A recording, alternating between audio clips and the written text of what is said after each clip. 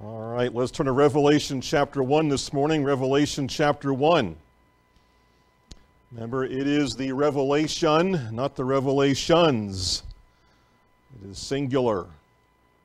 I'm going to go back and catch a couple points from our first uh, part. In uh, here we go. Here we go in the book of the Revelation of Jesus Christ when God speaks from heaven. And last time our first point was receive the blessing for the true disciple. Revelation means to reveal, to unveil, to uncover. Once in a while, you'll hear somebody say when they have come into contact with some information they've never heard before and it blows their mind, they'll say, Man, was that ever a revelation? You ever heard that? Well, this is the revelation of all revelations. It is an apocalypse. It is highly metaphorical. It is highly symbolic. The things written here we learn must shortly come to pass, the Bible says. And this phrase happens seven times in the Revelation and emphasizes the imminence and expectancy. And that is why believers from the word go until now and will till Jesus comes back keep saying, well, the, the rapture must be going to happen really soon. Look at all that's going on. And so we are always in a state of expectancy. We also emphasize the fact that the one who reads Scripture in public should read the Scripture well. We need to read the Scripture well. It is the infallible, holy Word, eternal Word of God. Grant Osborne said Revelation must be characterized not as just apocalyptic, but as prophetic apocalyptic. So, with those thoughts in mind, let us pray and we'll dive into our second part this morning. Father, we thank you. We give you praise for your help and direction already here this morning. Uh, we ask you now to uh, hide me behind the cross of Calvary. I ask you, Holy Spirit, to fill me now for the message. I trust and depend in you for that. I do not trust in my flesh at all. So we're looking to you, the author and the finisher of our faith. We ask that you would indeed speak to us this morning from uh, the truth of your word that we're going to look at today. Uh, may this be a, a powerful time uh, in the word today. Uh, may it uh, do much to motivate us this morning as we see our blessed Savior, Jesus Christ, who is the focus of the book of the Revelation. So we ask for your help right now. Guide our very footsteps, we pray. And we ask all this in Jesus' name. Amen. Revelation chapter 1, let us read verses 1 through 8. The revelation of Jesus Christ, which God gave unto him to show unto his servants things which must shortly come to pass and he sent and signified it by his angel unto his servant John, who bare record of the word of God, and of the testimony of Jesus Christ, and of all things that he saw. Blessed is he that readeth, and they that hear the words of this prophecy, and keep those things which are written therein. For the time is at hand.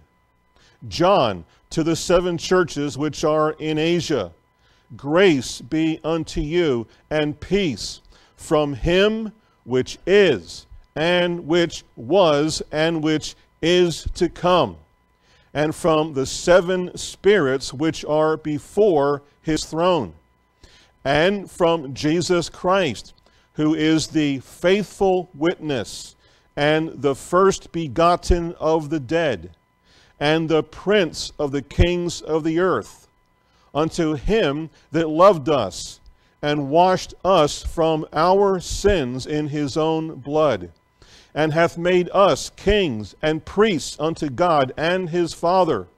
To him be glory and dominion forever and ever. Amen. Behold, he cometh with clouds, and every eye shall see him, and they also which pierced him, and all kindreds of the earth shall wail because of him. Even so, amen. I am Alpha and Omega, the beginning and the ending, saith the Lord, which is, and which was, and which is to come, the Almighty. We begin our, our second point this morning. Welcome the greeting from the triune God. Welcome the greeting from the triune God. This happens in verses 4, 5, and 6. The Bible teaches us that God is love. There is no doubt at all that God loves us. Our passage today is a greeting or a salutation from the Holy Trinity, the triune God. This letter is from our God with love to us, his children. Each member of the Godhead gives an address here. He addresses us, each member of the Godhead addresses us in this letter. Each member of the Trinity is characterized in rich theological and practical instruction. John is now instructed to pick up his pen and write to the seven churches in Asia Minor. Now we call it Turkey. The number seven appears 54 times in the book of the Revelation of Jesus Christ we find that John the Apostle is the writer. He is the one who pens this amazing book. He is the oldest uh, disciple now because he's the only one left. He is it, exiled on the island of Patmos during the reign of Emperor Domitian from AD 81 to 96. He's very old now, the last living of the apostles. As we will see, numbers are highly important and symbolic in Revelation, with number seven leading the pack. The number seven stands for that which is perfect, for that which is complete, with that which is full. We call number seven the number of our God. John writes to seven literal churches in and around Ephesus. These letters are to be taken seriously, not just by them, but by every generation of believers all the way to the rapture. John greets these churches in the name of the triune God and offers praise to our great God who has poured out his grace on all the believers in these seven churches. Praise God from whom all blessings flow. The doxology comes to mind here as we look at verses 4, 5, and 6. Doxology, a hymn of praise and to glorify our awesome God. Subpoint letter A is the Father is perfect in his person. The Father is perfect in his person. We find this in verse number 4 and the first part. John to the seven churches which are in Asia, grace be unto you and peace from him, the Father, which is and which was and which is to come we see two prominent words pop out at us in this greeting. We see the word grace and we see the word peace. The order of these two words is important. Grace is first. God's unmerited favor bestowed upon undeserving sinners. That's you and that is me. Peace, blessing, and wholeness, peace with God, and the peace that passes all understanding. It flows out of the amazing grace of our God. So John begins with the fountainhead, God the Father. God is described as Him which is, and which was, and which is to come. The focus is on the perfection, and he relates to time as it relates to time and eternity. This title appears only in Revelation 4 8, 11 17, and 16 15. It reflects the language of Exodus 3:14 where we find the great I am declaration. He is the God of the present. He is the God of the past, and He is the God of the future. The God who is incomparable. He is the sovereign Lord over history who is thus able to bring prophecy to fulfillment and to deliver his people despite overwhelming odds, whether from Egypt, Babylon, or the nations, says Dr. Beale. Little things or big things, all things are under the control of our great Father in heaven. Subpoint B, the Spirit, the Holy Spirit is perfect in his presence. The Holy Spirit is perfect in his presence. That's the second half of verse number four. And from the seven spirits, capital S, which are before his throne. Robertson's New Testament word pictures says this about that phrase from the seven spirits. That is a difficult symbolic representation of the Holy Spirit here on par with God and Christ. A conclusion born out of the symbolic use of the seven spirits in Revelation 3 1, 4 5, 5 6, and Zechariah 4 2 through 10. There is the one Spirit, the one Holy Spirit with seven manifestations here to the seven churches. That kind of makes it a little more clear for us. The Holy Spirit's divine omnipresence is in view. The Holy Spirit of God is in front of God's throne, it says here in verse number 4. The Holy Spirit energizes and he equips the churches for service, which proceeds from the very throne of God. So it's kind of neat to see that. You've got God the Father there, you've got Jesus on the right hand, and the Holy Spirit in the front. And He equips us for all the service that we need to do. And we need to remember that the next time God gives us some kind of an assignment and we want to back away from it, oh, I don't know if I can do that.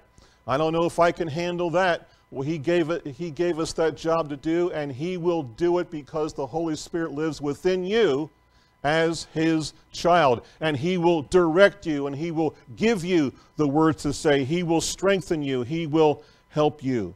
We are indeed made sufficient for every assignment Every challenge for the God who lives in us is the God who is before the throne. The Holy Spirit who is in heaven is the one also who is in us. Subpoint C, moving to the Son, the Lord Jesus Christ. The Son is perfect in his provision. The Son is perfect in his provision. Notice verses 5 and 6.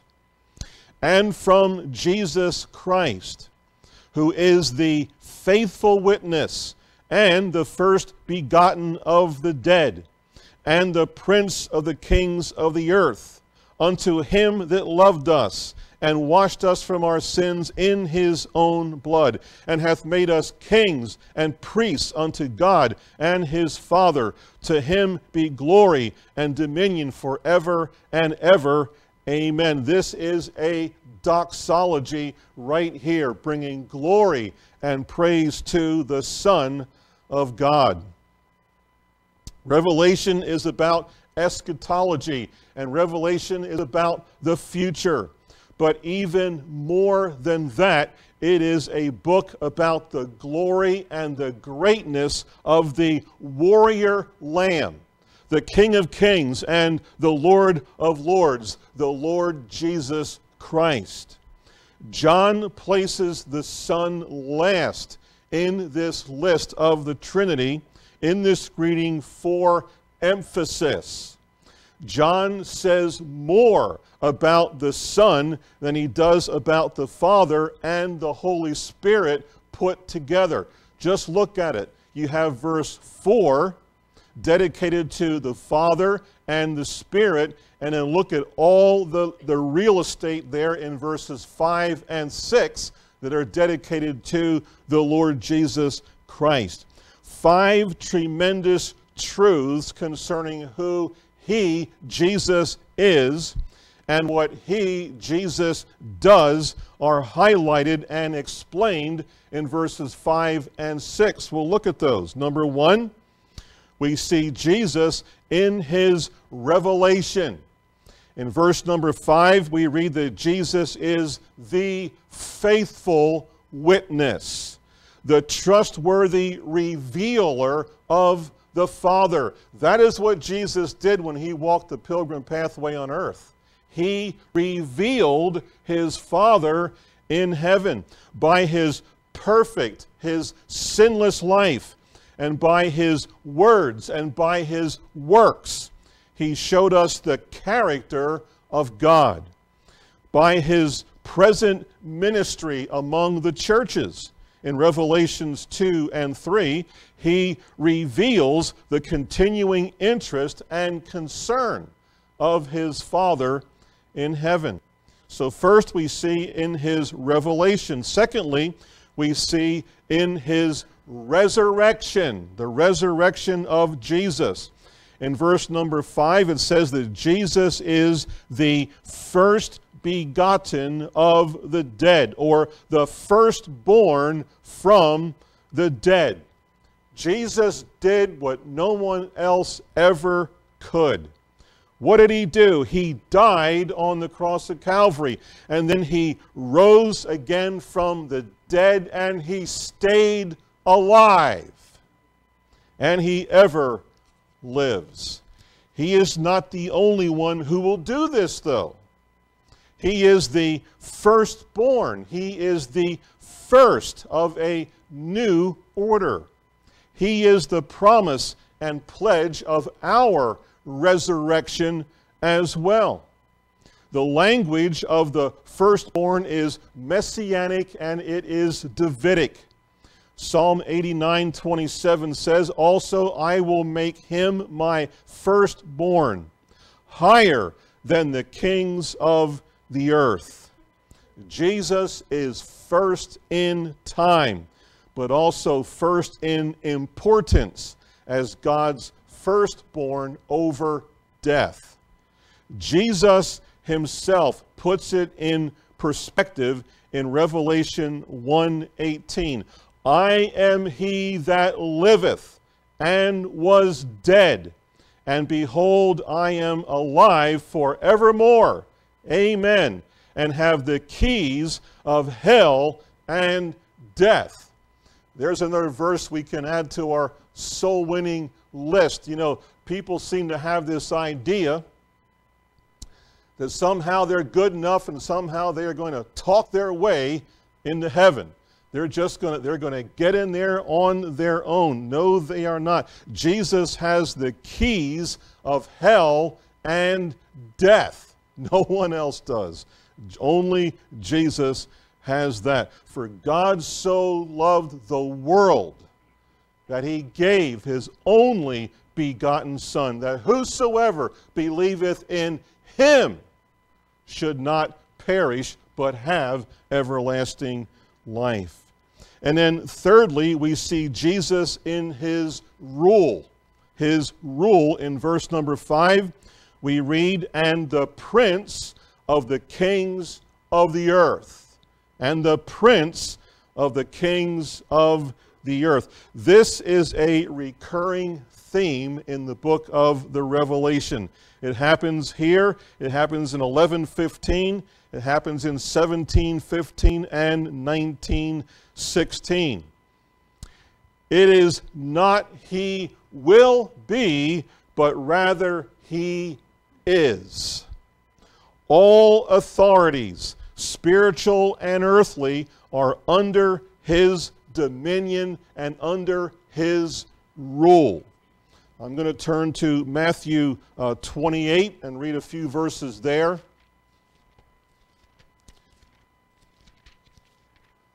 Matthew chapter 28. As Matthew uh, wraps up his book, he has these powerful verses to say, uh, 16 through 20. Then the eleven disciples went away into Galilee into a mountain where Jesus had appointed them. This, there was a, a divine appointment made. And when they saw him, they worshiped him. But some doubted.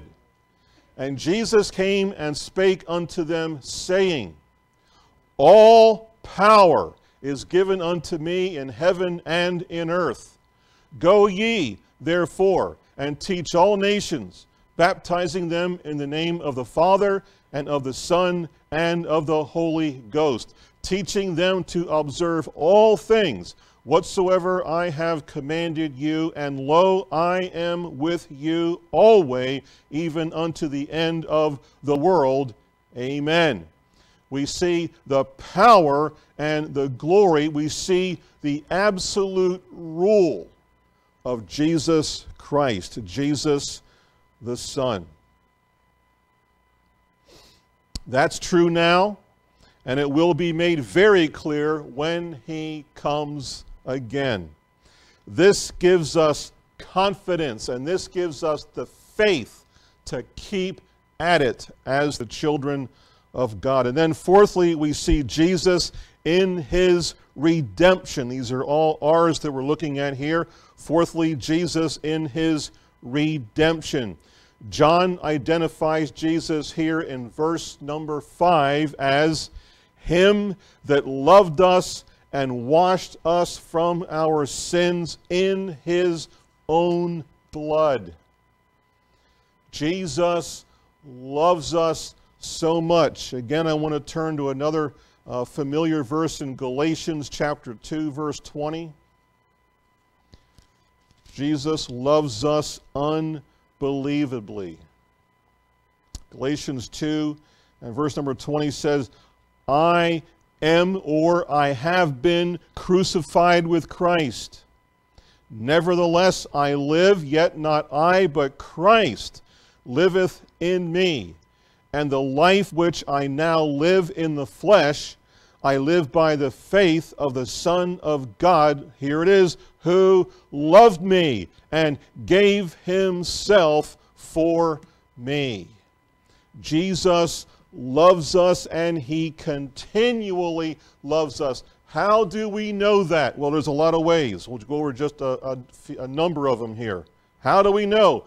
We know because of the cross of Calvary. We know because of his bloody and brutal death.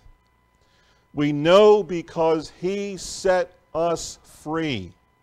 We know because he loosed us from all of our sin. We know because he died as our substitute. We know because he lived the life that we could never live. And every moment we live, we know that. we could never live the perfect life that he lived. We know because he died our death. We know of his love because he paid our penalty. We know because he gives undeserved salvation. We do not deserve it, but he gives us a free gift of salvation, of eternal life, by faith in him. We have three words that we like to talk about justification, sanctification, and glorification. So, first of all, Jesus freed us from sin's penalty. That is our justification. He is freeing us from sin's power. That is our sanctification. And He will free us from sin's presence, our glorification. And he will deliver us from this wind that you hear right now. Philip Bliss got it right. Philip Bliss nailed it when he wrote these words. The great hymn that we sing Guilty, vile, and helpless we. Spotless Lamb of God was he. Full atonement can it be? Hallelujah! What a Savior. And then number five, we see Jesus in his reign. In his reign in verse number six, it says, Jesus hath made us kings and priests unto God and his Father. To him be glory and dominion forever and ever. Amen. So, right now, blood freed sinners fill God's kingdom to the glory of God. To be fully forgiven would be more than enough, but He does a lot more than that for us. John informs us that we have entered the dominion of King Jesus as kings. We will reign with Him, and as priests, we will serve as priests served forever and ever. We are today, this morning, a holy priesthood. We serve, we worship, and we bear witness to the kingdom of our Christ that is both now and not yet. It is real. It is happening right now. However, the full manifestation awaits his second coming. John can only conclude these verses of glorious doxology with one word. He says, Amen. It means it is so, or so let it be. You know, this morning, uh, as we have looked at these few facts and truths from the Word, our hearts should be pounding this morning with praise and with confidence and determination.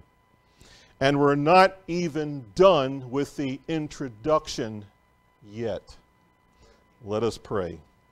Father, we thank you this morning for our great Savior, the Lord Jesus Christ, the, the key focus of the book of the Revelation. What a great and powerful and awesome Savior we have.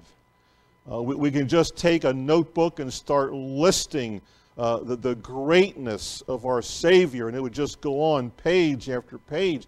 We ask this morning you would just uh, help us to, to take in these wonderful truths about our Savior. And may they motivate us, and, and may they just push us on to serve you better than ever before. Uh, may they uh, give us confidence in the truth of the Word that we have to share with other people that we meet along the way. Thank you so much for this great, great last book of the Bible.